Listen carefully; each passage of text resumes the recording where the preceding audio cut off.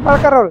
ಮೊದಲು ರಾಜೀನಾಮೆ ಕೊಡ್ಲಿ, ಆಮೇಲೆ ಈ ಎನ್ಕ್ವೈರಿಯಿಂದ ಹೊರಗೆ ಬಂದ ಬೆಳಕ ಮುಂದಿನ ಅವರ ವಿಚಾರಕ್ಕೆ ಅವ್ರು ಹೋಗ್ಬೇಕಾಗತ್ತೆ ಯಾಕಂದ್ರೆ ಹಿಂದೆ ಕಾ ಬಿ ಜೆ ಪಿ ಸರ್ಕಾರ ಇದ್ದಾಗ ಎಲ್ಲ ಕಾಂಗ್ರೆಸ್ ಸರ್ಕಾರ ಈಗ ಇರೋಲ್ಲ ಎದು ಸಿ ಮಾತಾಡ್ತಿದ್ರು.